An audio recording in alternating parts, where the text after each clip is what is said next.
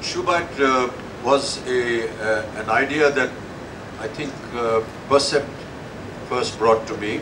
But It was just a thought, a thought that had come out from an idea on, on the net, which was put across by Manoj Night Shyamalan. Uh, they took the rights and everything and, and, they said, can we develop this thought? And he said, fine. The thought was developed. And then I think uh, UTV wanted to make that, uh, and they, they had some legal problems. They sorted it out in court. And UTV took over. Uh, Shoojit Sircar was uh, uh, who I had worked with uh, in ad films and who had done many other campaigns with me also. I asked him if he would uh, be interested in this subject.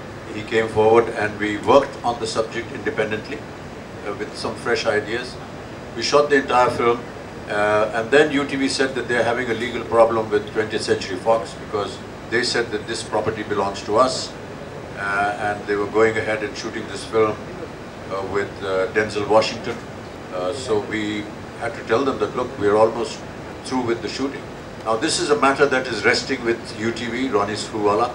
Uh, I don't know what the outcome is. However, from our side, all our work is over and uh, we hope that that film can uh, be released soon.